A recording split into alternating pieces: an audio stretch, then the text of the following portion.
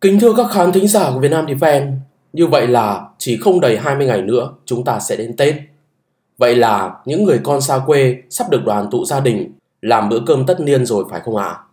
Thế nhưng đó là với người dân, còn với các lực lượng vũ trang, đặc biệt là các lực lượng bảo vệ chủ quyền biển đảo, ngay từ bây giờ họ đã bắt đầu ra khơi, tiến hành trực trọng điểm bảo vệ chủ quyền đất nước khi mà đối phương nào có cho chúng ta ngơi nghỉ. Tình hình ở các khu vực như quần đảo Hoàng Sa, Trường Sa, thêm lục địa phía nam đất nước trong những tháng qua tiếp tục ghi nhận thêm các hành động ngang ngược của Trung Quốc ở Biển Đông. Đặc biệt, theo tin mới nhất từ ông Ray Power, Giám đốc mảng biển đảo tại Trung tâm An ninh Quốc gia Đại học Stanford của Mỹ, vào ngày 20 tháng 1, tàu hải cảnh 5402 của Trung Quốc đã tiến vào khu vực gần bãi cạn Tư Chính nằm trên thềm lục địa phía nam Tổ quốc. Điều đáng nói, tàu 5402 tiến vào khu vực gần Tư Chính thế chỗ cho con quái vật tàu hải cảnh lớn nhất Trung Quốc 5901 đã hiện diện gần các giàn khoan ở Tư Chính từ ngày 8 tháng 1. Ngay lập tức, tàu kiểm ngư 276 đã thực hiện nhiệm vụ bảo vệ chủ quyền, đeo bám liên tục tàu 5402, yêu cầu đối phương nhanh chóng di chuyển ra khỏi vùng đặc quyền kinh tế của Việt Nam. Tình hình nghe có vẻ rất căng thẳng, tuy nhiên, thực tế việc tàu Trung Quốc liên tục xâm nhập vùng thềm lục địa của Việt Nam đã diễn ra âm ỉ suốt cả năm qua, không kèn, không chống. Đáp lại, lực lượng kiểm ngư, cảnh sát biển của ta cũng tiến hành đeo bám, truy đuổi, ngăn cản các hoạt động trái phép của tàu Trung Quốc theo một cách lịch sự nhất, bất chấp tàu đối phương to hơn mình vài lần tới gần hai chục lần. Được biết, tàu 5402 dài 98 m, lượng giãn nước 3.980 tấn, trong khi tàu 5901 có lượng giãn nước toàn tải 12.000 tấn, dài 165 m.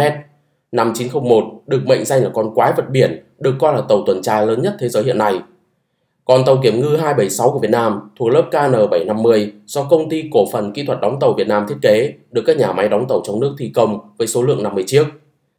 Tàu có trọng tải choán nước là 700 tấn tiêu chuẩn khi không tải và gần 770 tấn khi toàn tải. Chiều dài dài nhất 56,2 m, chiều rộng rộng nhất 8,2 m, mớn nước 4,3 m. Tàu có hai máy chính của Nhật Bản sản xuất, cho phép đạt tốc độ tối đa 18 hải lý trên giờ tầm hoạt động 5.000 hải lý khi tàu chạy ở tốc độ kinh tế 10 hải lý trên giờ. Tàu có khả năng hoạt động liên tục trên biển 60 ngày đêm, có khả năng hoạt động trong điều kiện sóng cấp 5 và chạy trong điều kiện gió cấp 9, cấp 10 và sóng cấp 8.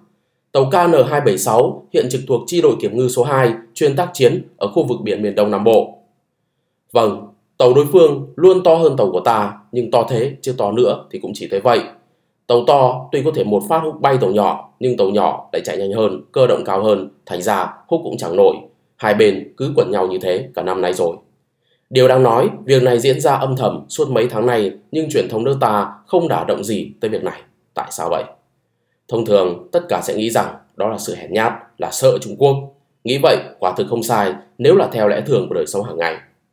Đúng ra phải như anh Philippines, chiến đấu quyết liệt trên mặt trận truyền thông, tuyên bố rất mạnh mẽ, cùng Mỹ tuần tra chung, thách thức các yêu sách chủ quyền phi lý của Trung Quốc một cách gay gắt nhất.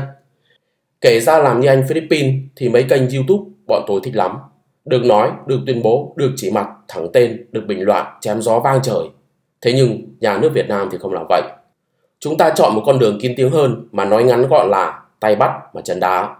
Tức là chúng ta không đao to búa lớn trên truyền thông, vẫn tay bắt mặt mừng. Vừa rồi là lễ đón rất hoành tráng của Đảng, Nhà nước, Chính phủ dành cho Tổng Bí thư, Chủ tịch nước Tập Cận Bình và phu nhân thăm chính thức nước Cộng hòa xã hội chủ nghĩa Việt Nam.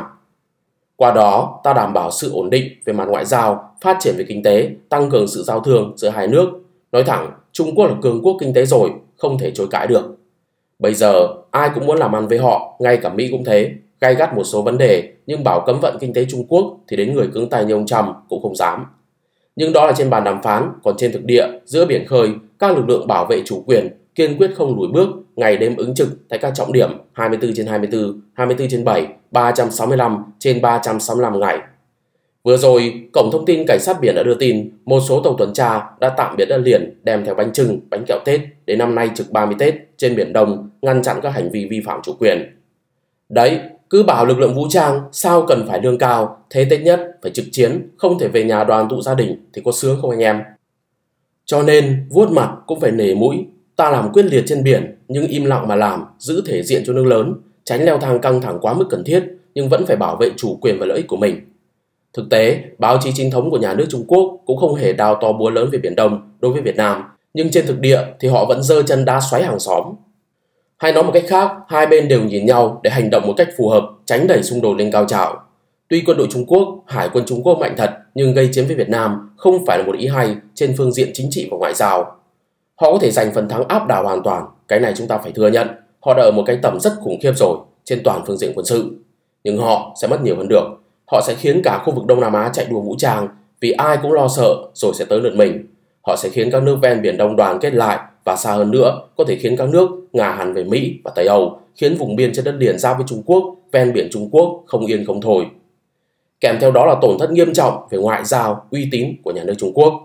Chiếm được một vài hòn đảo bé tẹo chưa chắc đã kiếm được lợi ích bằng những cái mất đi, cho nên chiến tranh không phải dễ dàng để xảy ra đâu các bạn.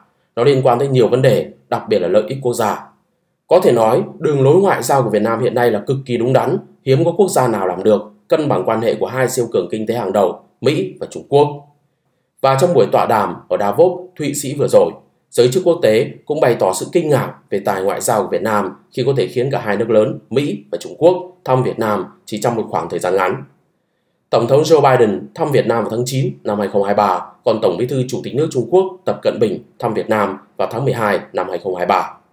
Tức là trong vòng 3 tháng, hai nhà lãnh đạo của hai siêu cường cùng thăm Việt Nam, quả thật là hiếm có.